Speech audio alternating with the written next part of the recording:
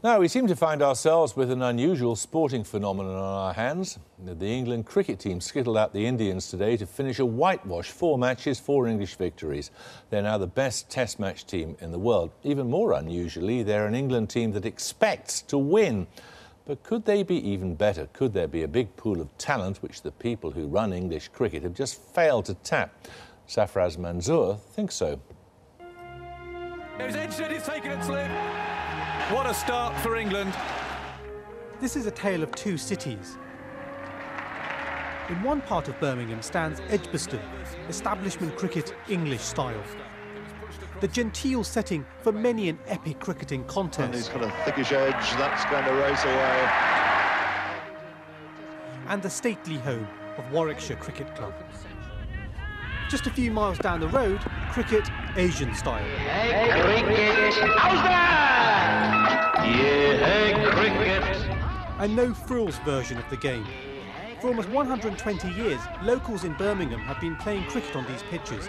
80 teams meet here every week during the summer to compete in one of England's oldest and biggest Asian leagues. Here the facilities are somewhat basic. There's no changing rooms, there aren't any toilets, unless you count those trees, and no access to running water. Lately, things have gotten so tough that last year the league even considered folding. Traditionally, English cricket sides need their own pitches if they want ECB recognition. But across the country, in many Asian leagues, players are using local councils' facilities, which means that many miss out on official funding and support. And some claim that lack of support explains why only nine British-born Asians have played Test cricket over the past 10 years, and why last year only 27 British Asians were playing top-level county cricket. Why do you think there aren't more Asian players inside the Test side than inside county cricket? I think it goes back to the uh, argument uh, that you used to get about black footballers in the 1970s. They can't quite cut it, they don't have the aptitude, they don't have the attitude, they don't have the ability. What we need are some pioneers that will actually break through that ceiling for us. And the, the day we have the Hashim Amlas playing within the England team, and Hashim Amla is a devout Muslim, he doesn't drink, he doesn't wear any sponsorship that uh, reflects alcohol or gambling, the day we have that uh, kind of player playing within the England team, that's the day that we would have a integrated uh, English cricket team that reflects all the diverse cultures that make up this wonderful land of ours. What I think Warwickshire miss out on is the uh, practical approach that football has where you have scouts even at the lower league grounds. We've got 13 games going yes. on. Is there anybody from the ECB around to check out who's playing? Absolutely not. Uh, you'll find there are players in this league that uh, have got the quality to sort of make it into the ranks of that type of cricket, but uh, no one's there to spot these sort of players. Uh, Why not? I don't know. Maybe it's just a, a lacking uh, part on, on the behalf of the clubs. Uh, they're not looking in the right places. Do you think Asians are underrepresented? Yeah, um, well, I mean, look at the current England team. There's only one Asian guy in there at the moment, and he's, he's only a fringe player. Uh, you're telling me there is no other Asian player in the whole of the system that can play with the rest of the England team? Of course there is. Talk to the guys here and they'll tell you that English cricket is split between the middle class white genteel world and the working class Asian grassroots. Over in Edgbaston, the County Cricket Club has been involved in projects to try and reach out to the Asian League and officials insist that there isn't a cricketing divide in the city. I think cricket's a very inclusive sport and I think it's a very inclusive sport at all levels. Facilities that the Parks League have, they're not that great, are they? I don't think they've got any changing rooms. And no, that's that's um, that, that's a big issue. The teams who play in the Birmingham's Park League aren't aren't affiliated to the cricket board, but nevertheless we see that as a very, very important part of cricket. There are Asian cricket teams in inner cities across England. These sides are playing in Victoria Park in East London. Many players here caught the cricket bug from their parents. We felt I suppose, more for, our, for, for the home country, for our parents' country, because that's where the passion came from, came from our parents. Um, and, our, and our heroes growing up were Pakistani Indian cricketers.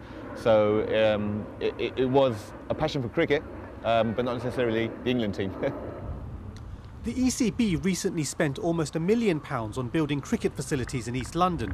So will these efforts help the England team look less white in the future?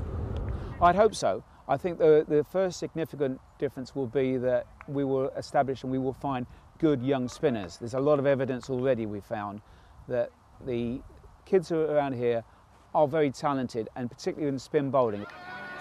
Maybe the real test of success will come not only when the England team looks more like England, but when there's no longer a need or demand for Asian only leagues. Well, with us now is Scyld Berry, the former editor of Wisden, and Wasim Khan, the first British born Pakistani to play professional cricket in this country. Why do you think there aren't more Asians playing cricket for England or indeed the counties?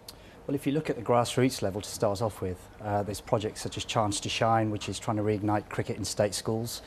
If you look around the county circuit, um, there's more professional players from ethnic minority backgrounds who are, who are playing now. I mean, from five mile radius to where I grew up, 17 professional cricketers have come out of there. So you can always are do you more. saying this isn't a problem? No, I, I'm not saying that at all. You know, what I'm saying is that uh, already It over is the a problem that's years, being addressed. It is being addressed, and the ECB are investing quite a lot of um, lot of money now into into grassroots sport. Sure, Berry, do you think it's a real problem?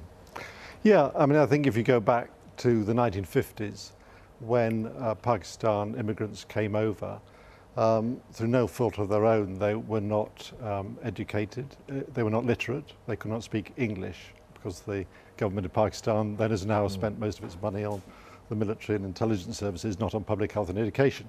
So there was an enormous cultural divide when they came over. Moreover, they're Muslim and generosity, hospitality are enormous uh, priorities in the cultural values of, of, of Islam. So they get to this country, they're given housing, but they're not welcomed into the cricket clubs of this country. And although the gap is narrowing, I don't think it's narrowed quite quickly enough. Do you think there's, to some degree, um, I was going to venture on this quite gingerly, but there's some degree, there's, there's a rather conscious separateness in Asian cricket? Mm.